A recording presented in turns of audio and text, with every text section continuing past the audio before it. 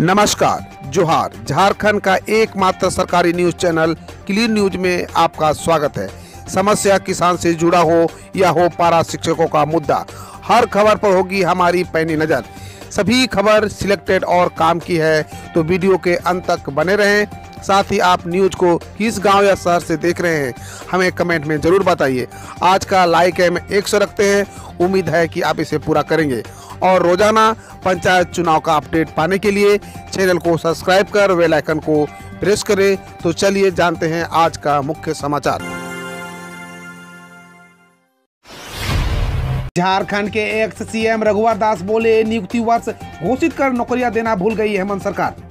झारखंड के पूर्व मुख्यमंत्री रघुवर दास ने मुख्यमंत्री हेमंत सोरेन को घेरा है। पत्र लिखकर उन्होंने कहा कि वर्ष 2021 को नियुक्ति वर्ष घोषित कर सरकार बेरोजगारों को रोज़गार देना सरकार भूल गई है। अभी तक हेमंत सरकार नई नियमावली नहीं बना पाई है। एक माह में नियमावली में सुधार का दावा भी अब पूरा नहीं होता दिख रहा है। पूर्व सीएम रघुवर दास ने कहा कि इसी प्रकार पंचायत सचिव, सहायक पुलिस पारा शिक्षक आदि हर कोई आंदोलन करने को मजबूर है।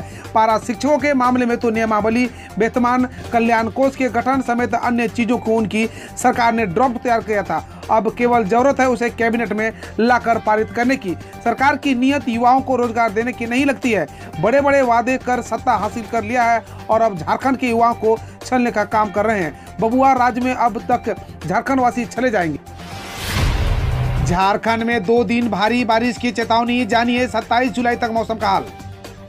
मौसम विभाग ने झारखंड में हाई अलर्ट जारी किया है। राज्य के सभी जिलों के अगले 48 घंटे तक गर्जन के साथ मूसलाधार बारिश की संभावना जताई है। बुधवार को राजधानी रांची में दोपहर बाद बारिश शुरू हो गई है। आसमान में बादल छाए हुए हैं। वहीं राज्य में आगामी 27 जुलाई 2021 तक मेघ गर्जन के साथ हल्के से मध्यम दर्जे की बारिश होगी। झारखंड में संगठन की मजबूती से तय होगा कुर्सी का खेल। सीएम हेमंत सोरेन पर सबको साधने की चुनौती। झारखंड में हेमंत सोरेन सरकार के पहले इम्तिहान की घड़ी सामने आ गई है। यह इम्तिहान सत्ताधारी दलों के बीच बेहतर तालमेल की हकीकत को बयां करेगी। बीस सूत्री से लेकर निगरानी समिति व बोर्ड निगम से लेकर आयोग को कुर्सी को लेकर राजनीतिक तेज हो गई है। जिला और प्रखंड स्तर पर संगठन की मजबूती और कमज़ोरी के आधार पर कुर्सी का खेल शुरू होने जा रहा है। सरकार गठन के बाद पहली बार हेमंत सोरेन सरकार। का इम्तिहान होने जा रहा है। इस इम्तिहान में हेमंत सोरेन के समक्ष अपने सहयोगी दलों को खुश रखने की चुनौती होगी। विश्व सूत्री की बात हो या निगरानी समिति, बोर्ड निगम की बात हो, आयोग बंटवारे पर सत्ताधारी दलों के कार्यकर्ताओं से लेकर बड़े नेताओं और विधायकों की नज़रें इस पर टिकी है। राष्ट्रीय जनता दल ने सरकार का सहयोगी दल होने के नाते अपना दावा पेश कर दिया है। दावा विधानसभा में मिली सीट और उसके प्रदर्शन के साथ साथ जनाधार वाले क्षेत्र को लेकर चौहत्तर हज़ार सेविका सहायिका को मिलेगा चार महीने का मानदेय आंदोलन स्थगित। झारखंड राज्य आंगनबाड़ी कर्मचारी संयुक्त संघर्ष मोर्चा ने 22 जुलाई से शुरू करने वाले अपने आंदोलन को अब स्थगित कर दिया है। यह आंदोलन बकाये मानदेय के भुगतान को लेकर होने वाला था। ऐसा इसलिए हो रहा है क्योंकि महिला कल्याण एवं बाल विकास विभाग की ओर से बकाये मानदेय की राशि आवंटित कर दी है। इस बाबत विभाग की ओर से जिलों को पत्र भी जारी कर दिया गया है। बताते चले कि पिछले चार महीने से आंगनबाड़ी कर्मियों को मानदेय भुगतान नहीं किया गया है। इसे लेकर आंगनबाड़ी संघ की ओर से मुख्यमंत्री, मुख्य सचिव, बाल कल्याण विभाग के सचिव को पत्र लिखा गया है। पंचायत प्रतिनिधियों के कार्यकाल बढ़ाने के लिए लग रहा है वसूली का आरोप। झारखंड में पंचायत प्रतिनिधियों का कार्यकाल समाप्त हो चुका है, लेकिन आधिकारिक तौर पर इसकी पुष्टि अभी तक नहीं की गई है। पंचायत प्रतिनिधि पसोपेश में है कि आखिर उनके साथ क्या होने वाला है, जबकि सरकार की तरफ़ से कार्यकाल को बढ़ाने वाला अध्यादेश तैयार कर लिया गया है। राज्यपाल की तरफ़ से मंजूरी भी मिल गई है, लेकिन अभी तक विभाग की तरफ़ से किसी ज़िले को इस बाबत की कोई सूचना नहीं दी गई है। इस उपापों की स्थिति में सबसे ज़्यादा परेशानी का सामना मुखिया को करना पड़ रहा है। झारखंड पुलिस को बड़ी कामयाबी, पीएलएफआई जोनल कमांडर अजय पूर्ति सहित आठ नक्सली गिरफ़्तार। झारखंड पुलिस के लिए जुलाई का महीना कामयाबी लेकर आया है। पुलिस को लगातार सफलता मिल रही है। हाल ही में सुरक्षा बलों ने जहाँ बुधेश्वर और शनिचर सुरिन जैसे इनामी नक्सलियों को ढेर किया, वहीं अब नक्सली संगठन पीएलएफआई, जोनल कमांडर अजय पूर्ति सहित आठ नक्सलियों को पश्चिम सिंहभूम ज़िले ने गिरफ़्तार किया है। पुलिस ने अभियान चलाकर जोनल कमांडर समेत आठ पीएलएफआई उग्रवादियों को गिरफ़्तार किया है। सभी गिरफ़्तार नक्सली से पुलिस पूछताछ कर रही है। ऐसा भी होता है। सीबीआई के हाथों गिरफ़्तार से बचने के लिए हाईकोर्ट को दिखलाई मृत्यु की झूठी सूचना। मौत आई तो भनक भी नहीं लगी। जिस आरोपित ने कभी जेल जाने से बचने के लिए हाई कोर्ट में अपने मरने की झूठी सूचना दी थी। उसकी आखिरकार अब जेल में ही मौत हो गई है। मौत की झूठी सूचना देकर कोर्ट को गुमराह करने के कारण पिछले माह ही गिरफ़्तार कर धनबाद जेल भेजे गए। 80 वर्षीय सजायाफ्ता बंदी दिलीप कुमार मुखोपाध्याय उर्फ़ दिलीप कुमार मुखर्जी की मंगलवार को इलाज के दौरान S N M M C H में मौत हो गई है। उन्हें 24 जून को सीबीआई ने गिरफ़्तार कर धनबाद जेल भेज दिया था। वे अब से भी बीमार थे। धनबाद जेल आने के बाद बंदी को दो बार इलाज के लिए अस्पताल भेजा जा चुका था। पहले बंदी को रांची स्थित रिम्स भेजा गया। स्थिति में सुधार होने के बाद उन्हें वापस जेल लाया गया था। इस बीच 18 जुलाई को फिर दिलीप कुमार की तबीयत खराब हो गई। जेल प्रशासन ने बंदी को M N M S C H में भर्ती कराया, जहाँ मंगलवार को उनकी मौत हो गई। आजीविका फॉर्म फ्रेश के ज़रिए ताजी सब्जियों की होम डिलीवरी की सराहना ग्रामीण विकास सचिव ने दिए कई निर्देश। राष्ट्रीय ग्रामीण आजीविका मिशन अंतर्गत रांची में संचालित आजीविका फार्म फ्रेश के ज़रिए ताजी सब्जियों की होम डिलीवरी सर्विस की झारखंड ग्रामीण विकास सचिव डॉक्टर मनीष रंजन ने सराहना की है। साथ ही इसे अन्य राज्यों में शुरू करने एवं प्लस उत्पादों को भी इसमें से जोड़ने का निर्देश दिया है। इसके अलावा राज्य में जैविक खेती को बड़े स्तर पर बढ़ाने की ज़रूरत पर बल दिया है। ग्रामीण विकास विभाग के अधीन संचालित Jharkhand state livelihood promotion society द्वारा क्रियान्वित विभिन्न योजनाओं की प्रगति की। ग्रामीण विकास सचिव डॉक्टर मनीष रंजन ने रांची के हेल स्थित जेएसएलपीएस राज्य कार्यालय में समीक्षा की। इस मौके पर उन्होंने आजीविका फॉर्म, फ्रेश मॉडल को अन्य जिलों में विस्तार करने के साथ साथ सर्टिफिकेशन कराना भी सुनिश्चित करने पर ज़ोर दिया।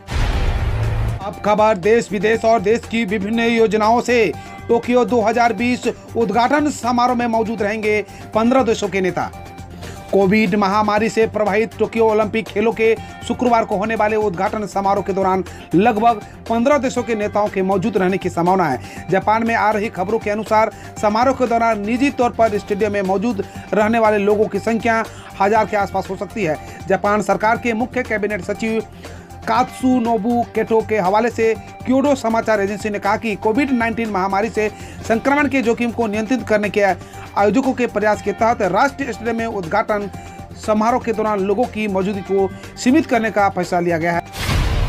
पर्यटन से जुड़े लोगों के लिए उत्तराखंड सरकार ने की 200 करोड़ के राहत पैकेज की घोषणा। उत्तराखंड सीएमओ के मुताबिक मुख्यमंत्री पुष्कर सिंह धामी ने राज्य में पर्यटन व चार धाम यात्रा से संबंधित गतिविधियों से जुड़े लोगों के लिए 200 करोड़ के राहत पैकेज की घोषणा की है। बतौर सीएमओ पैकेज से एक दशमलव छह तीन लाख परिवारों को लाभ मिलने की संभावना है। गौरवतलब है कि इस वर्ष की चार धाम की यात्रा रद्द हो गई है। दिल्ली के एम्स प्रमुख ने कहा, इंसान से इंसान में बर्ड फ्लू के फैलने के सबूत नहीं, लोग नहीं डरे। भारत में H five N one world flu से इस साल की पहली मौत दर्ज होने के बाद दिल्ली एम्स के प्रमुख रणदीप गुलेरिया ने कहा कि H five N one virus के इंसान से इंसान में फैलने के सबूत नहीं है, इसलिए डरने की ज़रूरत नहीं है। उन्होंने कहा कि जहाँ पहली मौत दर्ज हुई है, वहाँ नज़र रखने और कॉन्टैक्ट ट्रेसिंग की ज़रूरत है। हरियाणा बोर्ड ने शैक्षणिक सत्र 2021-22 के लिए दसवीं व बारहवीं की पाठ्यक्रम 30 प्रतिशत घटाया। हरियाणा बोर्ड ने शैक्षणिक सत्र 2021-22 के लिए दसवीं एवं बारहवीं कक्षाओं का पाठ्यक्रम 30 प्रतिशत घटा दिया है। हरियाणा बोर्ड के अध्यक्ष प्रोफेसर जगबीर सिंह ने बताया कि कोविड 19 के कारण स्कूल न खुल पाने के चलते यह फैसला लिया गया है। राज्य बोर्ड ने 2020 में भी दसवीं और बारहवीं का पाठ्यक्रम 30 प्रतिशत घटाया था। स्वतंत्रता दिवस को लेकर लाल किला इक्कीस जुलाई से 15 अगस्त तक सैलानियों के लिए बंद। भारतीय पुरातत्व सर्वेक्षण ने कहा कि स्वतंत्रता दिवस की तैयारियों के मद्देनजर 21 जुलाई से 15 अगस्त तक लाल किला सैलानियों के लिए बंद कर दिया गया है। गौरतलब है कि सुरक्षा कारणों व कोविड 19 को ध्यान में रखते हुए दिल्ली पुलिस ने 15 जुलाई से ही लाल किले को बंद करने का सुझाव दिया था। चीन ने किया 600 किलोमीटर प्रति घंटे की अधिकतम रफ्तार वाली ट्रेन का अनावरण। चीन ने अपनी नई हाई स्पीड मेगलवे ट्रेन का अनावरण किया है, जिसकी अधिकतम रफ्तार 600 किलोमीटर प्रति घंटा है और कहा कि यह दुनिया में मौजूद ज़मीन पर चलने वाला सबसे तेज वाहन है। ट्रेन को 600 किलोमीटर प्रति घंटा की रफ्तार से बीजिंग से संघाई तक 1000 किलोमीटर की दूरी तय करने में सिर्फ़ ढाई घंटे लगेगा। दिल्ली हाई कोर्ट ने कहा कि उम्मीद है कि दिल्ली सरकार दो तीन दिनों में स्पा खोलने पर अंतिम फैसला लेगी। दिल्ली हाई कोर्ट ने मंगलवार को कहा कि उसे उम्मीद है कि दिल्ली सरकार राष्ट्रीय राजधानी कोविड 19 दिशा निर्देशों के सख्त अनुपालन की शर्तें लागू कर स्पा को दोबारा खोलने पर दो तीन दिनों में कोई अंतिम फैसला लेगी। हाईकोर्ट ने आगे कहा कि अगर 27 जुलाई तक कोई फैसला नहीं लिया जाता है तो अदालत इस मामले को लेकर सुनवाई करेगी। सीबीएसई ने कहा प्राइवेट स्टूडेंट नहीं होंगे प्रमोट 16 अगस्त से शुरू होंगे एग्ज़ाम कोरोना काल में केंद्रीय माध्यमिक शिक्षा बोर्ड के प्राइवेट स्टूडेंट को राहत नहीं मिली है। सीबीएसई ने कक्षा 10 और 12 के प्राइवेट स्टूडेंट के लिए परीक्षा की तारीखों का ऐलान कर दिया है। ये एग्ज़ाम 16 अगस्त से 15 सितंबर के बीच आयोजित होंगे। कोरोना की वजह से दसवीं और बारहवीं के रेगुलर स्टूडेंट की परीक्षाएँ रद्द कर उन्हें प्रमोट कर दिया गया था, मगर प्राइवेट स्टूडेंट को एग्ज़ाम देना होगा। तीसरी लहर में कोरोना केस बढ़े, इस राज्य में संपूर्ण लॉकडाउन का ऐलान। देश में तीसरी लहर की आशंका के बीच केरल समेत कुछ राज्यों में कोरोना के मामले तेज़ी से आई है। इसके चलते केरल सरकार ने दो दिनों के संपूर्ण लॉकडाउन का ऐलान किया है। प्रदेश में 24 और 25 जुलाई को आवश्यक सेवाओं को छोड़कर सब कुछ बंद रहेगा। कुछ जिलों में पॉजिटिविटी दर 10 प्रतिशत ज़्यादा है। केरल सरकार शुक्रवार को पूरे राज्य में बड़े स्तर पर टेस्टिंग अभियान चलाएगी, जिसमें तीन लाख लोगों को कोरोना जाँच की जाएगी। महाराष्ट्र के पाँच जिलों में रेड अलर्ट, मुंबई में बारिश जारी। देखिए दिल्ली समेत अन्य राज्यों का मौसम अपडेट। मानसूनी बारिश आफत बनकर बरस रही है। पहाड़ी इलाकों से लेकर मैदानी राज्यों तक तबाही के निशान दिख रहे हैं। यूपी, बिहार, राजस्थान, गुजरात, दिल्ली, मध्य प्रदेश, महाराष्ट्र, हिमाचल प्रदेश और उत्तराखंड समेत कई राज्यों में भारी बारिश से लोग परेशान हैं। कई शहरों में पानी घरों में घुस गया है तो कुछ जगहों उपनती नदियों की तबाही मचाई है। पहाड़ी इलाकों में लैंड स्लाइड और नदियों में बाढ़ के पानी से कई घर तबाह हो गए हैं। वहीं कहीं हाईवे भी अवरुद्ध हो गए हैं। डीआरडीओ ने नई पीढ़ी की आकाश मिसाइल किया सफल परीक्षण। सेना की बढ़ेगी ताकत। रक्षा, अनुसंधान और विकास संगठन यानी डीआरडीओ ने बुधवार को अपने देश में विकसित कम वज़न वाला और नई पीढ़ी की आकाश मिसाइल एक सतह से हवा में मार करने वाले मिसाइल का सफलतापूर्वक परीक्षण किया। एक आधिकारिक बयान के अनुसार, man portable anti tank guided missile को थर्मल साइट के साथ एकीकृत एक मैन पोर्टेबल लॉन्चर से लॉन्च किया गया था।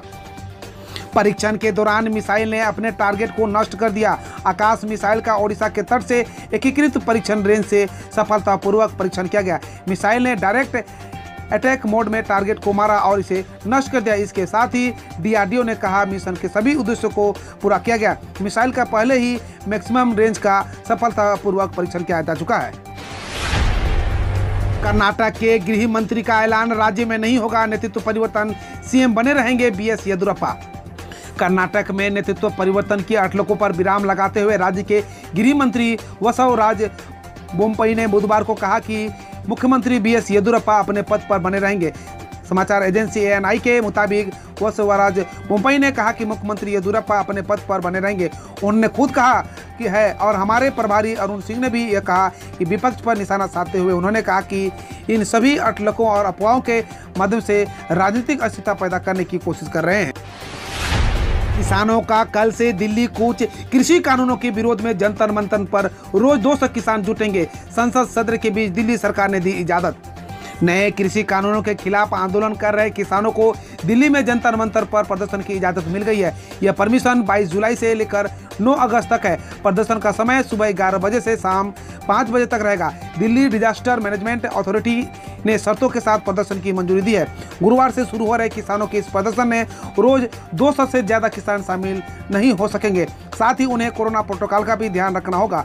न्यूज़ एजेंसी पीटीआई के सूत्र के मुताबिक दिल्ली पुलिस की ओर से भी प्रदर्शन के परमिशन मिल चुकी है। बताया जा रहा है कि किसान सिंधु बॉर्डर से पुलिस स्कॉट के अंतर मंतर तक ले जाए। ममता बनर्जी का खेलो इंडिया। जब तक भाजपा साफ़ नहीं होगी, तब तक पूरे देश में खेला होबे 16 अगस्त को खेला दिवस को होगी शुरुआत। बंगाल की मुख्यमंत्री ममता बनर्जी ने बुधवार को उत्तर प्रदेश, दिल्ली और गुजरात समेत कई राज्यों में मेगा वर्चुअल रैली की, शहीद दिवस पर की गई। इस वर्चुअल रैली से ममता ने ज़ाहिर कर दिया है कि बंगाल विधानसभा चुनाव जीतने के बाद उनकी नज़र अब दिल्ली की सरकार पर है। ममता ने कहा कि अब तक भाजपा पूरे देश से साफ़ नहीं हो जाती, तब तक सभी राज्यों में खेला होगा। उन्होंने कहा कि हम 16 अगस्त को खेला दिवस की शुरुआत करेंगे और गरीब बच्चों को फुटबॉल बांटेंगे।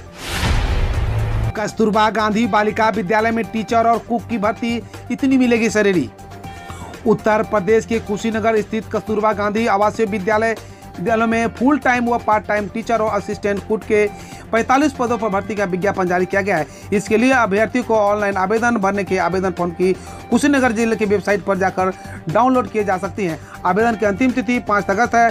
नोटिफिकेशन के अनुसार ये भर्तियाँ कुशीनगर ज़िले में संचालित चौदह कस्तूरबा गांधी आवासीय विद्यालय में होगी। हिमाचल सरकार ने लागू किया नया मोटर व्हीकल एक्ट। माने कौन सा नियम तोड़ने पर होगा कितना जुर्माना? हिमाचल सरकार ने नया मोटर व्हीकल एक्ट लागू कर दिया है। परिवहन विभाग ने मंगलवार को इसकी अधिसूचना जारी कर दी है। अधिसूचित इस एक्ट को गजट में प्रकाशित करने के बाद प्रदेश में वाहनों को चालान की नई दरें लागू हो जाएगी। संशोधित नए मोटर व्हीकल एक्ट में अब ये नियम तोड़ने पर जुर्माने के लिए है। नियम जुर्माना राशि सीट बेल्ट न लगाने पर 1500 जुर्माना। किसी योग्य के वाहन चलाने पर पंद्रह हज़ार जुर्माना। वाहन चलाते वक्त ध्वनि या वायु प्रदूषण करना पंद्रह हज़ार जुर्माना। अनाधिकृत व्यक्ति को वाहन चलाने की अनुमति देने पर साढ़े सात हज़ार जुर्माना, चालक के पास लाइसेंस नहीं पाया जाना, पंद्रह हज़ार जुर्माना। बिना रजिस्ट्रेशन और फिटनेस के वाहन चलाने पर पंद्रह हज़ार जुर्माना। एल को लिमिटेड स्पीड से ज़्यादा दौड़ने पर तीन हज़ार जुर्माना। मीडियम गुड्स और हैवी पैसेंजर वाहनों को निर्धारित गति से तेज चलाने पर छः हज़ार का जुर्माना। ड्राइविंग करते वक्त मोबाइल या दूसरा उपकरण प्रयोग करने पर सात हज़ार जुर्माना।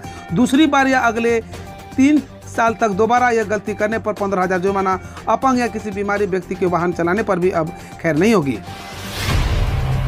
जम्मू कश्मीर की महिला से शादी करने वाले अन्य राज्यवासी पति को भी मिलेगा डोमिसाइल हम रोज ऐसे ही न्यूज़ लाते रहेंगे तो यदि आपने अभी तक क्लीन न्यूज़ को सब्सक्राइब नहीं किया है तो पहले फटाफट सब्सक्राइब कर लें, साथ ही बेल आइकन को दबा दें, ताकि कोई अपडेट मिस ना हो।